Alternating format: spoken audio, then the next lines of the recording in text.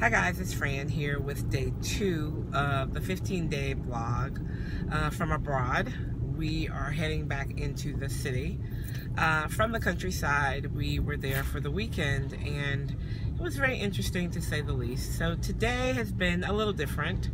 Uh, been feeling a little anxiety today.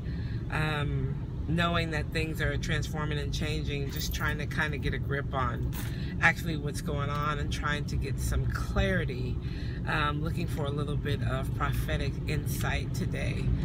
Um, this afternoon, we are just going to relax a little bit and meditate and just try to listen um, to what Spirit is wanting to give and say and direction. Um, every day is kind of different when you are um, elevating, I guess is the word, when you're transforming, when things in your life are changing and you are getting ready to go to a, a different level spiritually, you just feel a little different because you feel unsure, just like with any change. And change is uncertain sometimes. So I am just trying to embrace things today as they come and go with the flow and allow my intentions for the day are simply just to be in the moment and to allow things to unfold as they should and to be thankful for each and everything in my life um, as it is right now